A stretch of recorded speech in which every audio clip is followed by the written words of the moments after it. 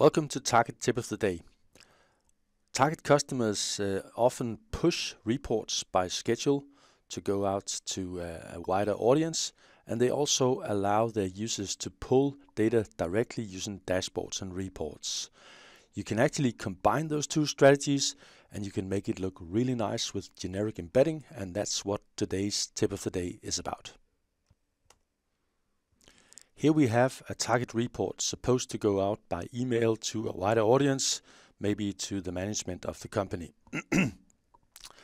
uh, I'd like to create a scheduled job and send out this report, and I'd also like to have a link back. And the link back I can show you, I have an Anywhere client, a web client here, with a dashboard showing mostly the same information, but with the option to drill and filter and so on, as you know from dashboards. So I'll just copy and paste this link up here and go back to my um, uh, report.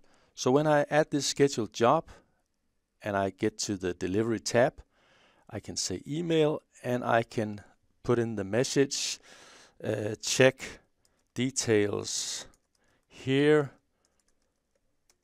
and paste in my link. However, that link looks very, very long and, and quite ugly. So what could we possibly do? What I'll do is I'll go to the tools ribbon and I'll make an embedded link. So embedded links are mostly well for embedding, but you can also use them for this purpose. So let's go and make an embedded link. I want to add uh, a link that will point to the dashboard that I showed you in the web client. Uh, it's a sales overview dashboard like this. And I want to name the link uh, details on sales like that. Okay. So when I click OK and I can, I've created this uh, embedded link and I can right click and say, let's copy this to my uh, clipboard. And I'd like the version that is really embedded anywhere without the top ribbon. So that's it. Going back to the, uh, the report here, when we create the scheduled job and get to the delivery tab, now we can paste in a link that is much nicer, that just says like this, details on sales.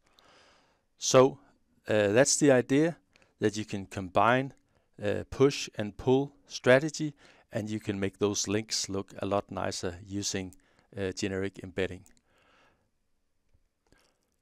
That concludes today's uh, tip of the day. Don't forget to sign up for our newsletter and stay safe.